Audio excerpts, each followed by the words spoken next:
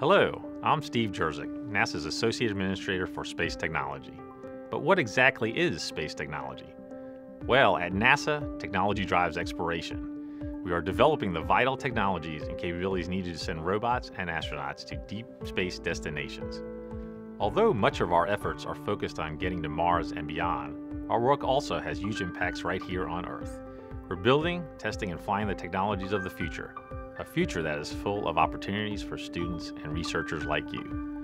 When I was a kid, I remember watching the Apollo missions unfold, inching closer to landing a man on the moon. NASA and its astronauts were achieving groundbreaking feats in human spaceflight and reaching new heights previously out of reach. They showed humankind a new way of looking at Earth from outer space.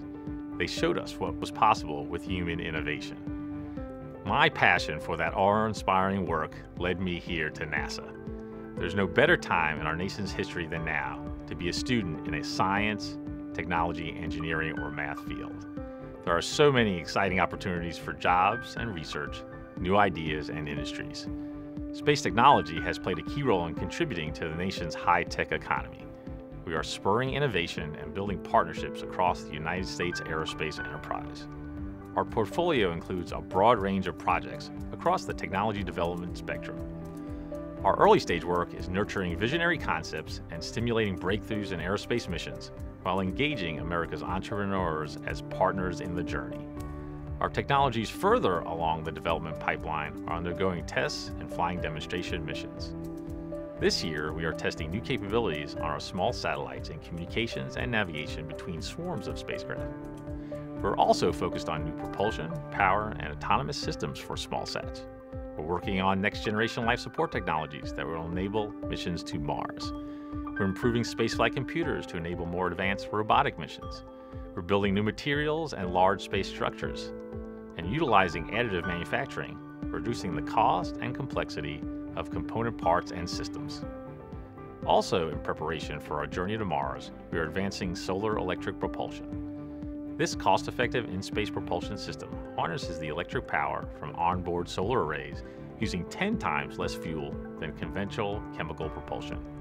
We're getting ready to launch our Deep Space Atomic Clock, a miniature ultra-precision mercury ion clock which has the potential to change the way we navigate through space.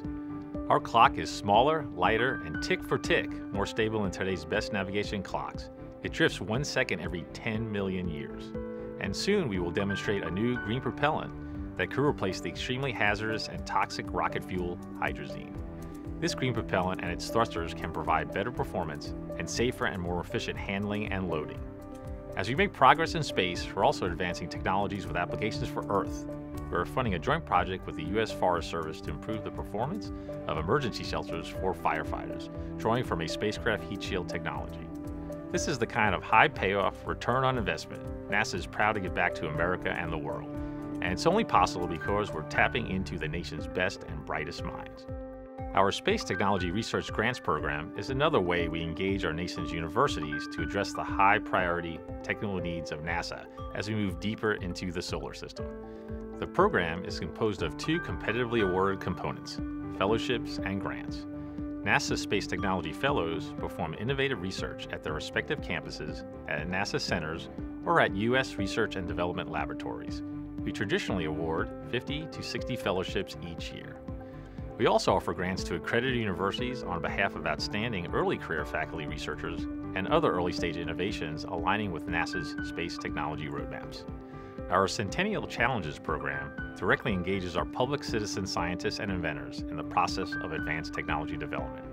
We're looking to stimulate private sector investment and increase the diversity of individuals, organizations, and teams that are helping NASA problem solve we just awarded $50,000 to winners of the Mars Ascent Vehicle Challenge, the first high school team to ever participate in a Centennial Challenge, as well as two university teams, took home prize money for successfully demonstrating an autonomous robotic system that could one day bring back samples from the Red Planet.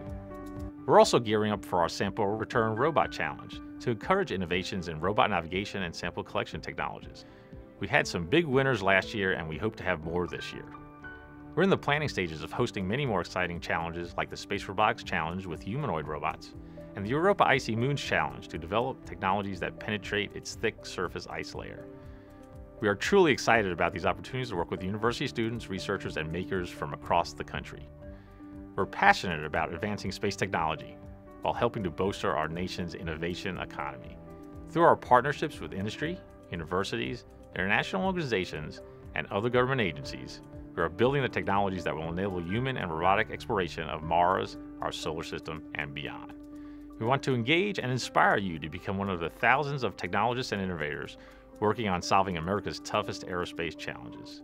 We know that technology drives exploration, and perhaps with your help, NASA and the nation will remain at the cutting edge of space exploration for a long time to come.